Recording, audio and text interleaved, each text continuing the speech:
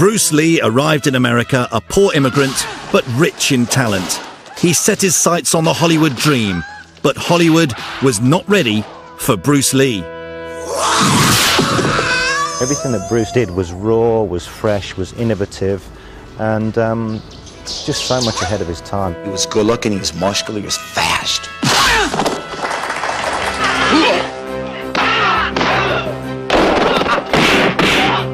First, Bruce Lee changed the concept of martial arts around the world.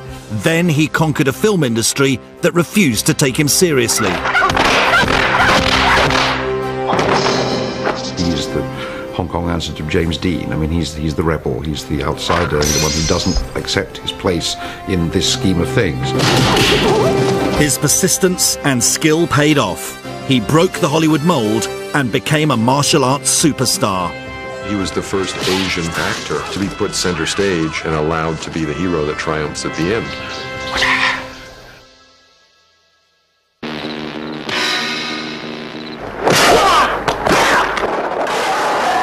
Bruce Lee had an unmistakable war cry that required no translation.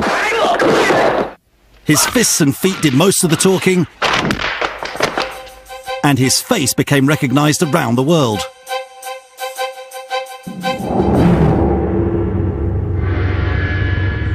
On screen, Bruce Lee came across as larger than life, but in person, he was just 5 foot 7 and weighed 10 stone. Despite his diminutive size, the effect he had on generations of martial artists was massive, and it can still be felt today. The impact of him as an individual is, is, is huge, and it's just growing all the time. Mean, we've got clubs everywhere. Uh, people were initially drawn in by like the, the movie stuff, you know, like the flash stuff, like that and kick in and stuff like that. And I think people were drawn in because of that. But then his real art was very simple and direct and effective. Be formless, shapeless, like water. You gotta put the whole hip into it and snap it. Ultimately, martial art means honestly expressing yourself. Dragon whips his tail. Bruce Lee loved being in front of the camera, as this early home video footage shows. He filmed training sessions in order to improve his performance.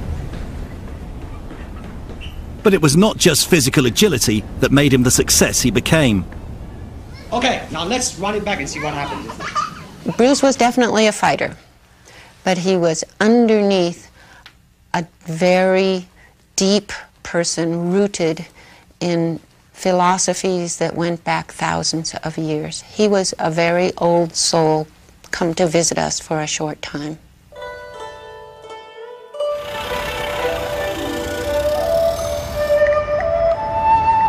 On November 27, 1940, the year of the dragon, Bruce Lee was born in San Francisco, while his father, a Chinese opera singer, was on tour in America. His parents called him Li Jun Fan, but a nurse gave him the name Bruce, a name that the entire world would come to know. Three months after he was born, his family returned to their home in Hong Kong.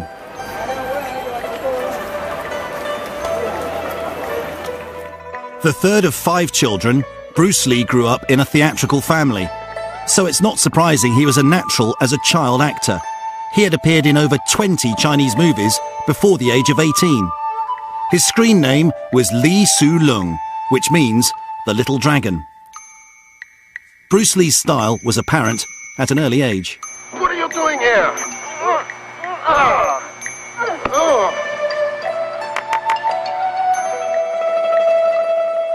But the little dragon was more of a street fighter than a movie star. Growing up on the streets of Hong Kong is what sent Bruce to get an education in martial arts. Bruce studied the Wing Chun style of martial arts. This involved hours of arduous training against a wooden dummy.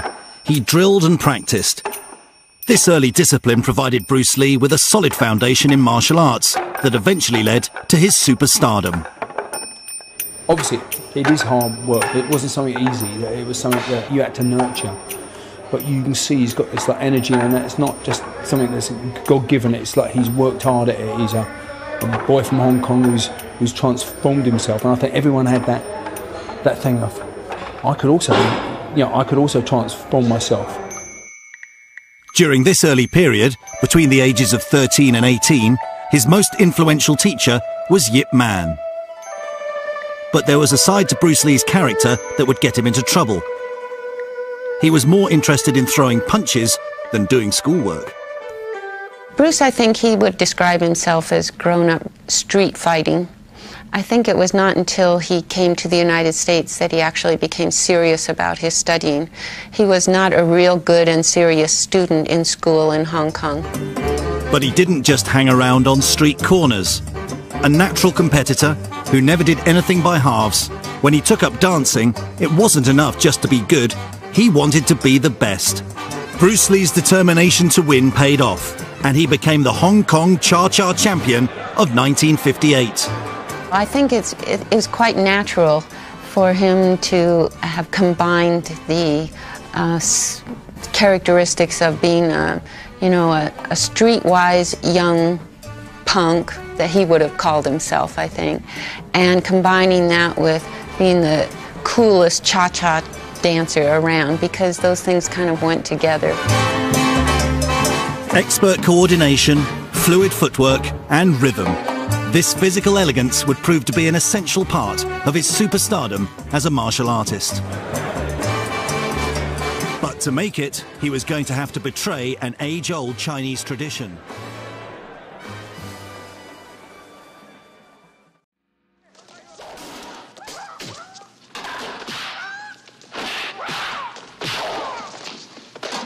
Bruce Lee changed action films forever. Suddenly, martial arts became popular with mainstream audiences the world over. But his journey to become a superstar was not an easy one. As a teenager in Hong Kong, Bruce Lee fancied himself as a streetwise rebel. He got a reputation for brawling. His parents wanted to keep him out of trouble and possibly even jail, so they sent him off to America to study. When he came to the United States, he had $100 in his pocket, and he looked around at everything and said, now what? The options for new Asian immigrants in the States, even now, let alone 30 odd, 40 years ago, are pretty restricted. Uh, and, you know, outside the restaurant business, what is there? Well, Bruce Lee had particular skills. He wanted to, you know, turn those into some kind of job opportunity, and he saw that as a way to hopefully penetrate the uh, American entertainment business. But first, Bruce Lee had to work his way up like everybody else. In 1959, he stayed with a friend of the family in Seattle. While studying philosophy at university during the day, by night, he worked in a restaurant. But soon he turned to what he knew best and started to teach Kung Fu. In the early 1960s, the Western concept of martial arts was largely limited to karate and judo. But a revolution was about to take place, and Bruce Lee would be the catalyst. Bruce Lee set up his first martial arts school, the Jun Fan Kung Fu Institute, after the name he was given at birth, in what is now a restaurant in Seattle's Chinatown. Bruce Lee's approach to teaching got him into trouble. He flouted an age-old tradition by revealing the ancient secrets of the martial arts to guilos, foreign devils, as they were called by the Chinese community. He was willing to teach anyone and everyone, as one of his first students and friend, Taki Kimura, remembers.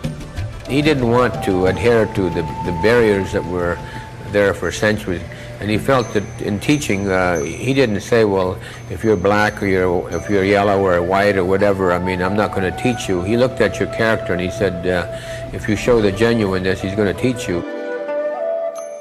Bruce Lee's classes grew. One student, Linda Emery, found herself coming to his lessons. But she was interested in more than just learning kung fu.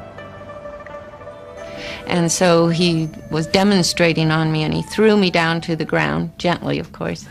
And so as he was showing the others how to do this, he said to me quietly, Would you like to go to the Space Needle for dinner?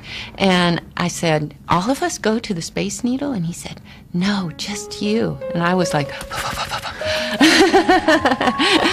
and so I guess that was at the first time that we actually went out alone together. After dating, the young couple were ready to take the next step. But interracial marriages in early 60s America were frowned upon.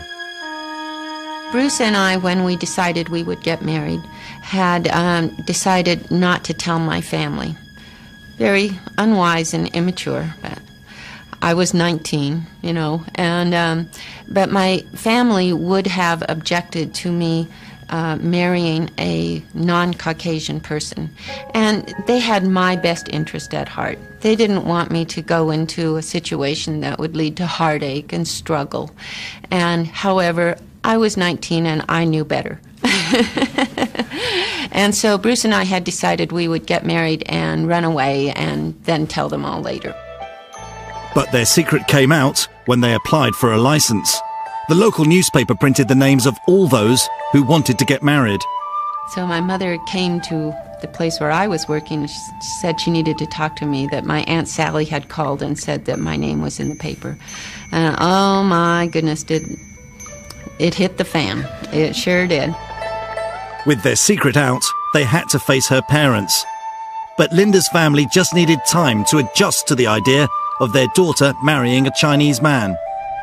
I can understand their concern, but I felt it was the right thing to do. So, with my mother's blessing, we did get married, and we got married in a church, and my mother and grandmother were there, as was Taki Kimura as the best man.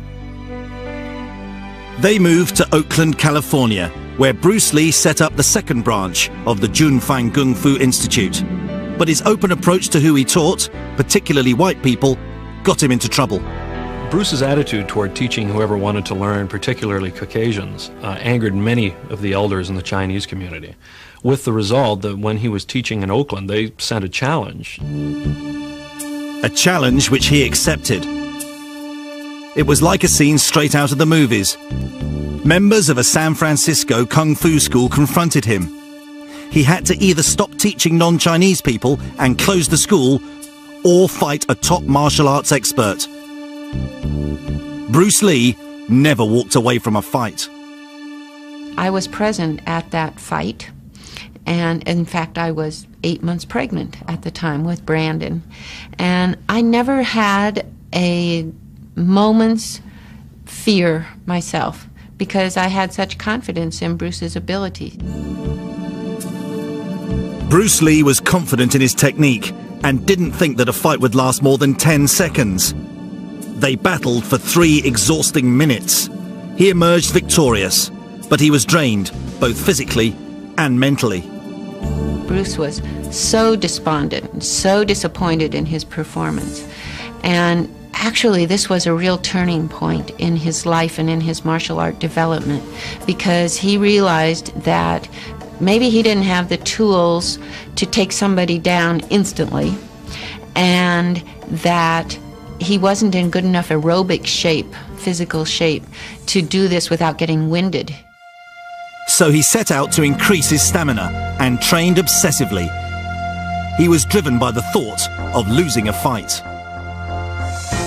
And so from that point on, he applied himself completely, 200% to the mission of refining his martial arts skills, and thus began the development of his way of martial arts, which he called Jeet Kune Do. Jeet Kune Do is a conceptual approach to training in martial arts, as against his Jun Fan Kung Fu, which is which is fixed, and that's what's great. That's what's what's ever changing about his art is it goes on. Whereas if it was fixed, it has a time. It has a. It's of its time. It's of the 60s or of the 70s. Where if you're dealing principles, principles are yeah forever. Jeet Kune Do means literally the way of the intercepting fist. To develop it, he adapted aspects of other fighting disciplines that would give him the edge.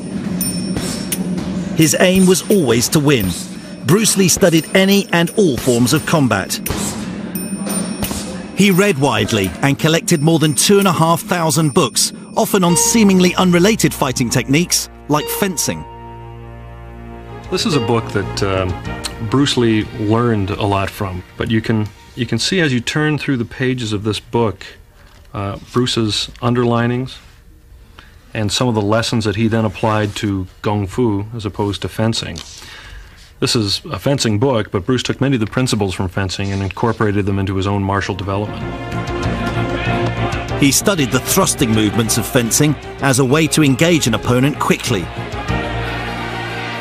He displayed the results of all his hard work at karate tournaments. He impressed the audience by doing push-ups with just two fingers, and he demonstrated his particular brand of martial arts and the power he could wield with just a short thrust of his fist. He called this a one-inch punch.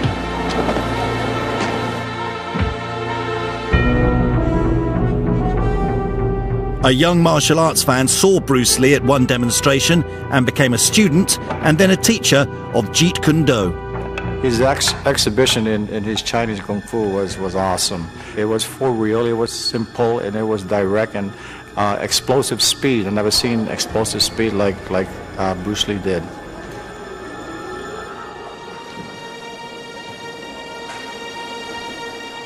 A television producer, searching for an actor to play the part of Charlie Chan's number one son, saw a film of one of Bruce Lee's demonstrations, and he called to set up a screen test.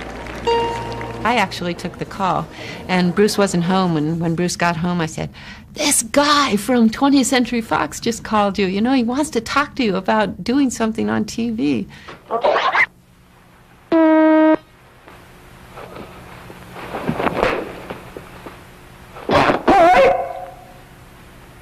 Test X1. Take one, Steve.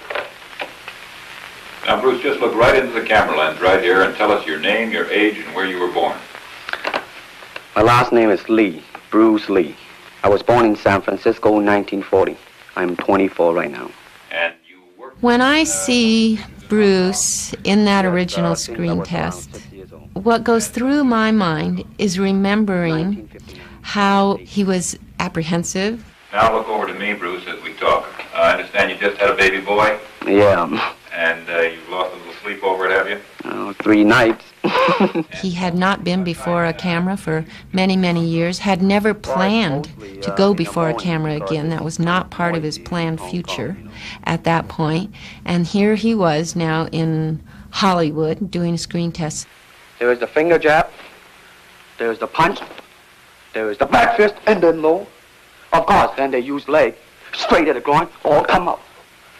Or if I can back up a little bit, they start back from here and then come back. All right. He's kind of worried. Uh, he, he has nothing to worry about. The film never happened. But Bruce Lee was cast in a new TV show, The Green Hornet, as the quick-footed sidekick Kato. He faced the American press for the first time. Well, I'll say it the Chinese way. Thank you very much. Bruce Lee set aside his plans to open a chain of kung fu schools and pursued an acting career. The Green Hornet and his sidekick Kato blasted onto television screens in 1966.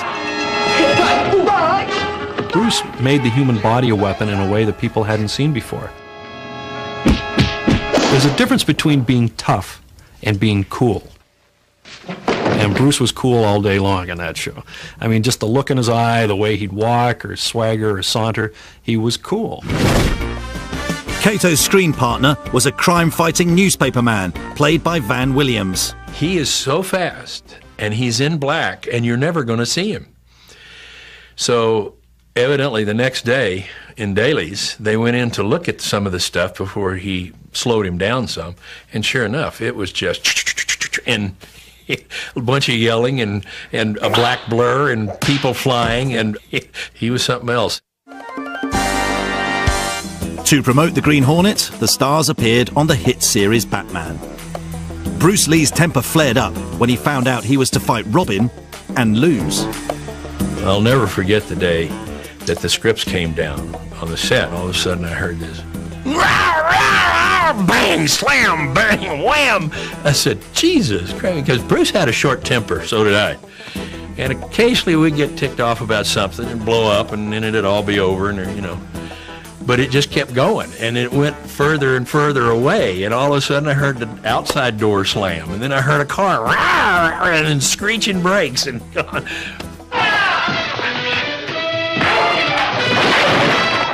good thing those guys aren't in town every week.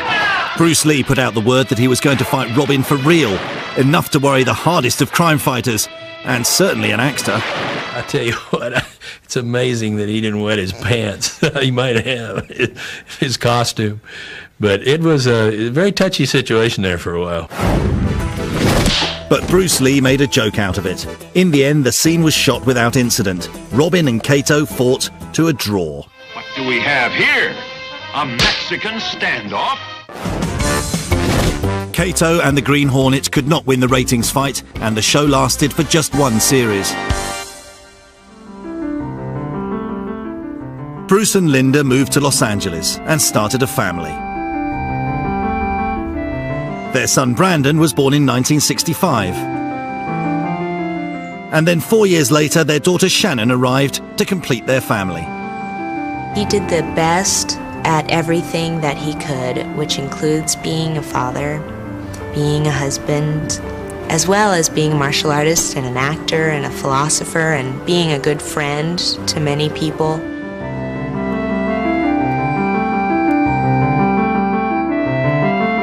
With his career in television faltering and a family to support, he returned to teaching Jeet Kune Do. But now his students were Hollywood stars, like James Coburn.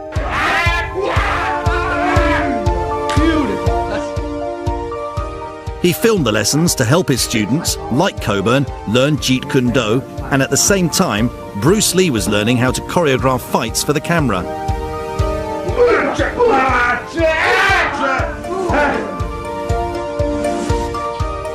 Another regular student was basketball player Kareem Abdul-Jabbar, who gave him a unique challenge. I certainly tested him. My reach was was a, a big problem for him. He, he liked problems like that because uh, most people didn't test him. Uh, he was a lot more of a challenge for me than I was for him. Steve McQueen became another one of his students. In the only television interview that exists with Bruce Lee, he talks about their training sessions. Now, as a fighter, Steve, Steve McQueen, now he is good in that department because that son of a gun got the toughness in him. Yeah. I mean, see it on the screen. I mean, he would say, all right, baby, here I am, man. Mm-hmm. You know, and he'll do it.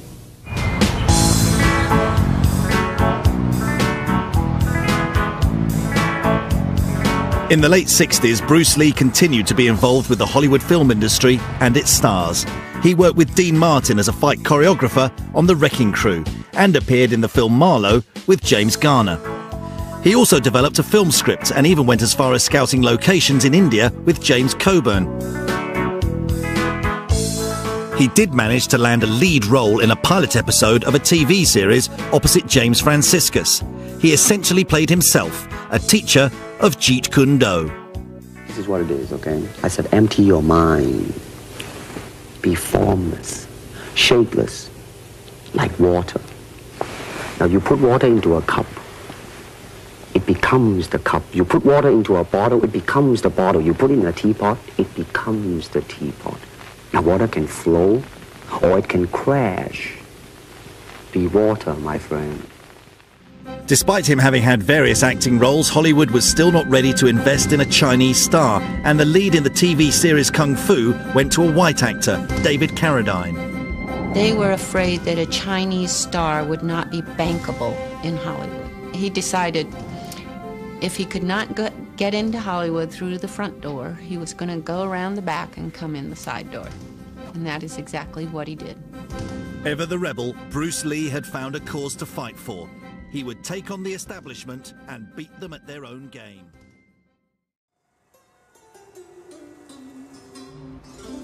In Hong Kong, Bruce Lee's popularity as a child star had been kept going through his role as Kato in the television series The Green Hornet. So he returns with his son Brandon to the city where he was recognized wherever he went and turned his back on Hollywood. I've never seen anybody enjoy the celebrity that he was having in Hong Kong or any place. I mean, anybody else enjoyed as much as he, he enjoyed it. Um, sometimes people say, you know, was he spiritual? I say, yeah, perhaps, but he, I can see him much better in a Bentley than in a monastery, you know. But while Hollywood kept its doors firmly shut, the Asian film industry saw his potential and were keen to sign him up. And he went to Shaw Brothers first because that was the biggest company in Hong Kong. And uh, Shaw's offered him their standard contract, which was, you know, a lifetime's servitude for about 50 bucks a month. Uh, and they and you know 10 films a year and you do exactly what we tell you at all times. You stay in our dormitory you never go out you, you know, we promote you as a star in our magazines. And he i mean I, I don't think i can repeat you know exactly what he said to them but uh, you can imagine the tenor of it. Um, and at that moment uh, a group of people had recently left Shaw Brothers, headed by Raymond Chow, who had been the head of production at Shaw's, and had started a rival company called Golden Harvest. Chow offered him a better deal. He said, okay, the money is no better, you still have no control, but this, we only want you to do two pictures for us, and let's see how it goes. He signed up for $15,000, and his first film, The Big Boss, was shot on a budget of just $100,000. The first director was fired halfway through the production, and much of the script was made up along the way. What Bruce Lee brought to the production was a sense of gritty reality to the fight scenes. It's just, it's just a wonderful combination of an artistic um, fighting format with the physical with the physical aspects. And he's actually, in one point, he's doing a back somersault whilst kicking somebody under the jaw, rotating round in the air and doing a layout back somersault. And it just comes from a guy who's just looking at you, eye to eye contact. It comes from nothing. The film premiered in Hong Kong, where Bruce and Linda waited nervously for the audience's reaction. So the movie was over. It was stone quiet. Nothing for about 10, 15 seconds seemed like forever. And then cheers cheers erupted in the audience. People stood up. They turned to find where Bruce was in the audience, applauding him, cheering. It was the most thrilling moment of his career.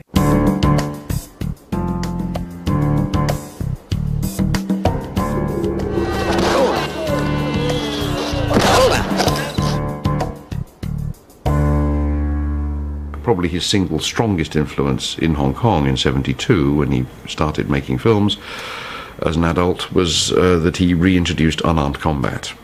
Uh, the, the, dominant genre in the 60s had been swordplay. So Bruce Lee brought things back towards uh, unarmed combat, or, or, predominantly unarmed combat, which became known as Kung Fu and became the big thing in the 70s.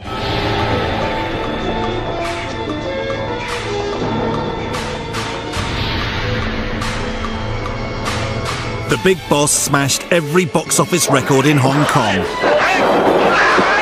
And Bruce became a martial arts superstar.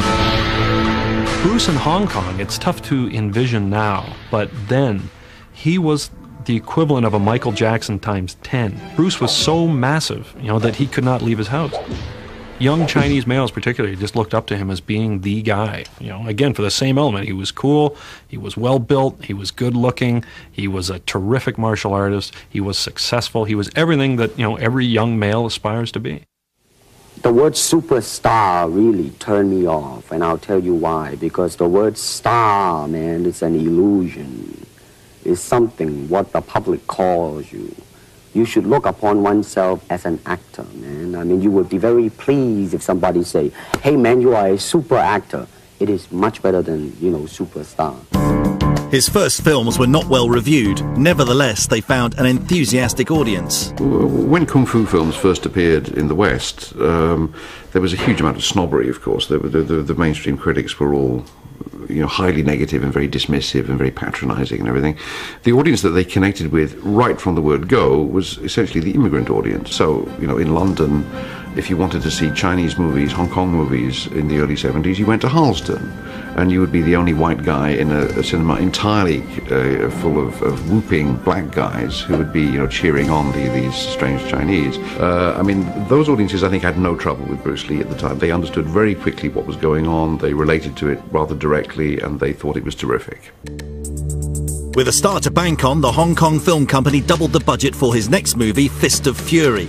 What the audience didn't know was all the fight scenes were shot while he was in pain from a back injury. What's ironic about that is that despite the fact he had this debilitating nerve problem with his lower back, he blossomed as a martial artist. He became a better martial artist after the back injury than he ever was before it. The doctors prescribed bed rest. He used this time to write up his philosophy on martial arts, the Tao of Jeet Kune Do, this has now been published in nine different languages. Not fully recovered, he willed himself to start training again. Ignoring doctor's orders, he went back to work.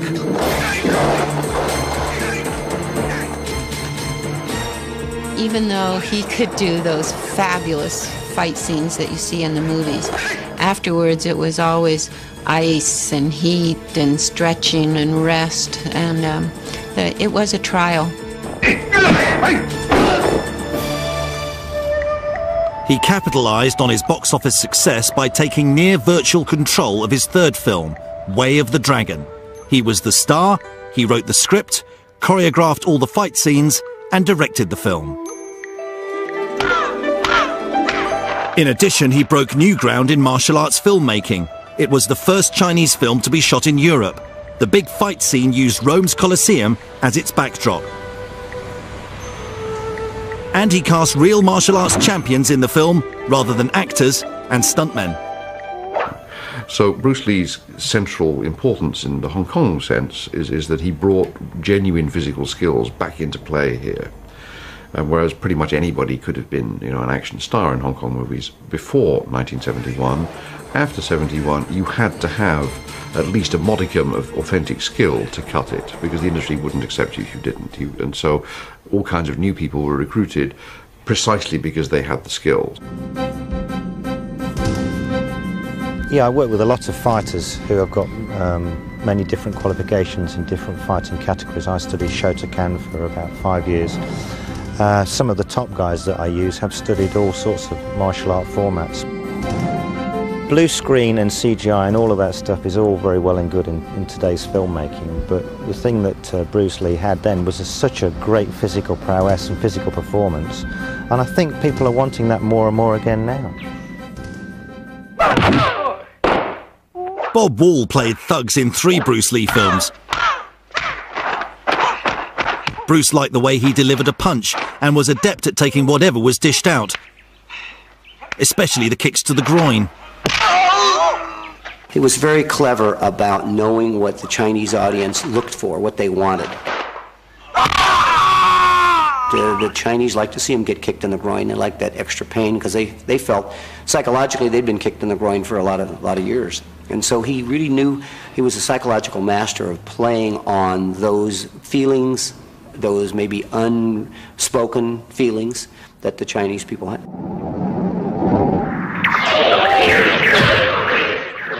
He turned to karate champion Chuck Norris for the Colosseum battle in Way of the Dragon. The fight scene is still considered to be one of the best ever made, and it helped to launch Norris's career in the movies.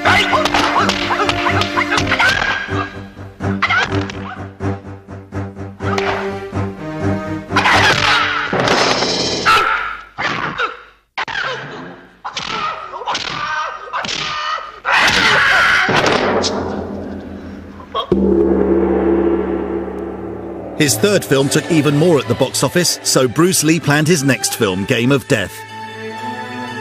This was to feature a remarkable mismatch. The 5 foot 7 martial arts star was to do battle with his 7 foot tall student, Kareem Abdul Jabbar. Bruce wanted to make it a depiction of the, the problems he had boxing me. Uh, basically, all, all of our little episodes in the backyard and the problems I presented to him with my reach and my relative quickness for someone of my size.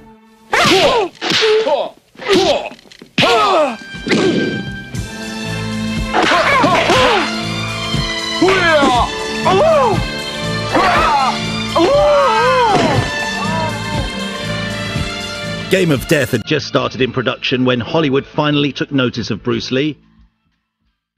Their offer was one he could not refuse, so he stopped shooting Game of Death and started work on the film that made him into an international martial arts superstar.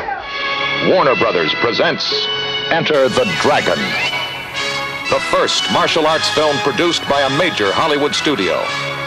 He understood that this picture was going to be his showcase to Hollywood and to the West, and so he wanted it to be as good as it could be.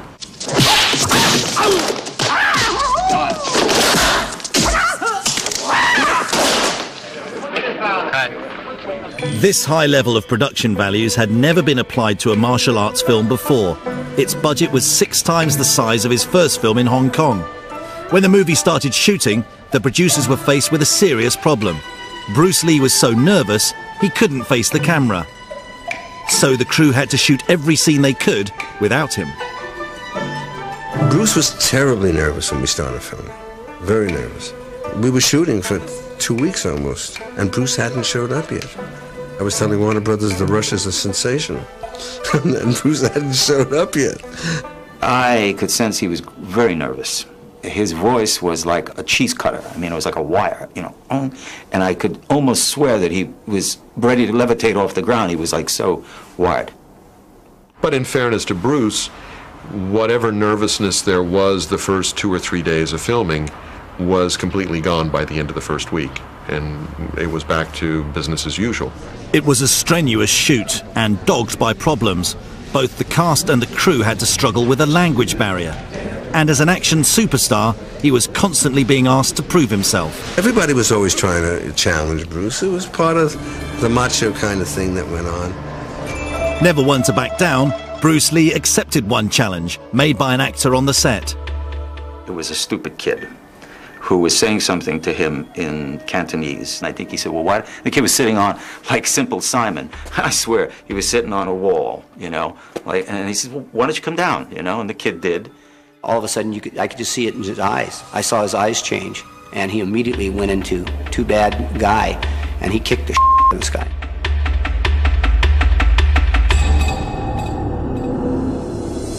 And when that was done and he backed off, he smiled, helped the guy up, and said, back up on the wall.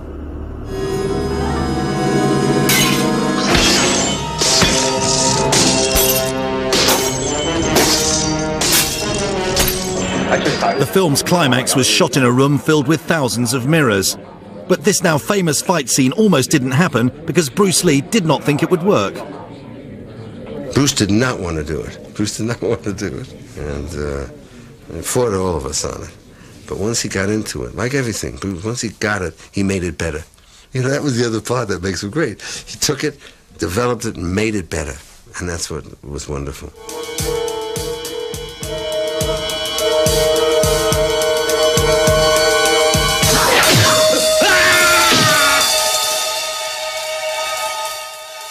Everything that Bruce did was, did was raw, was fresh, was innovative, and um, just so much ahead of his time. It's just, I don't think people realise. Once filming was over, in May 1973, Bruce Lee went straight into the studio to dub the film's dialogue. On one particular day, he left the studio suddenly, and a few minutes later was found by a crew member. He had collapsed, and when he came to, lost consciousness again and went into convulsions.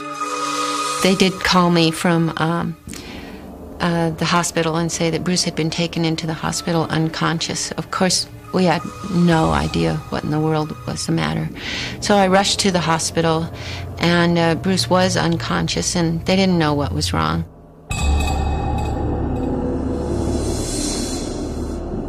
Following his collapse, Bruce Lee visited the best doctors in Los Angeles and underwent a battery of tests. They didn't know he was in town. I said, Jay, what are you doing here? And so on. He says, well, I got to go see the doctor and something like that. And then he said something, you know, very grave, like um, maybe there won't be a Bruce Lee. And I thought, what, is, what, are you, what are you talking about? I mean, those are grave words. Maybe there won't be a Bruce Lee. It's a kind of crazy premonition in a way. The test results were surprising because they showed that absolutely nothing was wrong. We don't really know what caused that. He was under a lot of stress um, and probably dehydrated because it's so hot in Hong Kong, so humid, and when you're working all the time, sometimes you forget to have enough liquids or whatever. But the medical report from the doctors in the United States pronounced him in perfect health. And he was excited. He was the same old Bruce again. I mean, his color was coming back, and uh, uh, certainly hadn't gained his weight back, but he said, doctors said, body of an 18 year old. Reassured, he headed back to Hong Kong to complete Game of Death, the film he had started before Hollywood called. But this was destined never to be finished. July 20th, 1973 was a working day like any other. I was actually with him that the day he passed away. He seemed fine. The only thing he complained about was having a headache. That evening, he went to a home of a friend to work on a script. But still complaining of a headache, he took some medication and laid down to rest. I think late in the evening, maybe about 10 o'clock or something, I got a phone call from Raymond saying Bruce had been taken to the hospital, and all he could say was something like the last time. And so I rushed over to the hospital. Bruce was unconscious and was never conscious again.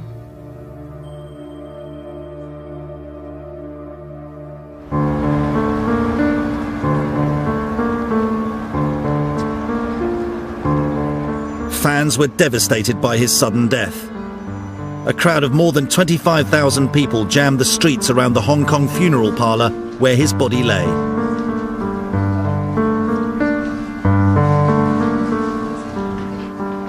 His loyal followers silently queued up to pay final homage to their hero, unbelieving that one so fit could have died so young.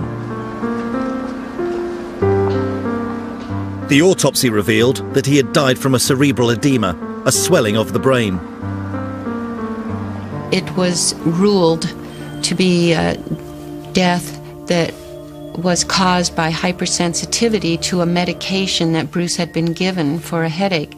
It's so extremely rare that this kind of thing happens. What it's um, what it's like is an allergy to, say, penicillin.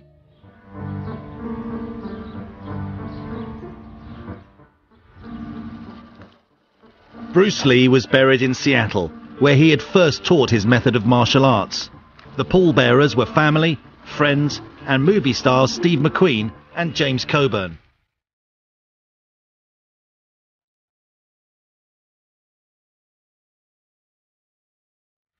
Thank you. May peace be with you.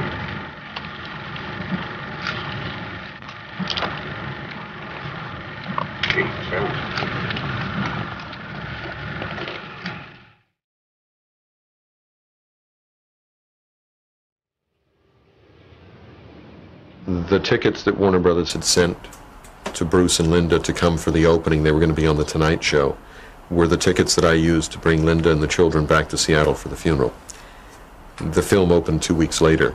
Uh, I was still in Los Angeles, actually finishing up business when the film opened, and the lines in front of the um, now Mann's Chinese Theater up on Hollywood Boulevard stretched down the street and around the corner. It was quite an amazing sight. I did attend the premiere of Enter the Dragon, and the theater was decorated with Chinese dragons, and it was wonderful. And yes, it was very sad and very sweet, very rewarding. It's even more rewarding now that 25 years later that Enter the Dragon has become the classic of the genre. And I think that Bruce would be very satisfied with that. He really started something.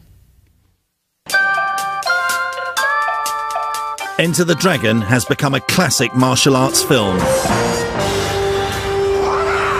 When Warner Brothers re-released the movie 25 years later, they put back several minutes that had been cut from the original.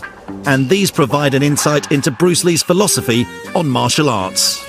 When the opponent expands, I contract. When he contracts, I expand. And when there is an opportunity, I do not hit. It hits all by itself. Bruce Lee has a delayed impact, and I think the metaphor of a, you know, a pebble in a pond sending out ripples is, is rather a good one, actually. It's much better than the, much more relevant anyway, than the master-disciple chain. He changes the industry by making it absolutely mandatory that actors in action films can really do it. You know, they have to be genuinely physically skilled. In terms of, you know, The Matrix, let's say, or some of the other Hollywood movies that have attempted to get into this particular area, Kill Bill would obviously be quite a good example as well. Uh, it's been mandatory for Keanu Reeves, for Uma Thurman, and these people to actually spend months training in martial arts before they shoot a frame of the film because they have to be able to cut it. The director now insists that it's not going to be done by CGI, it's going to be done because you, you're going to be good enough to cut it on screen. So, of course, having uh, had that kind of impact on the industry, it produced a new generation of people who were not direct disciples of Bruce Lee. These were not people trained by Bruce Lee, but they're people who ripple out from Bruce Lee. They're people who uh, start to use the principles that he has dramatically established and during that brief, you know, firework comet-like um, passage through the Hong Kong film business.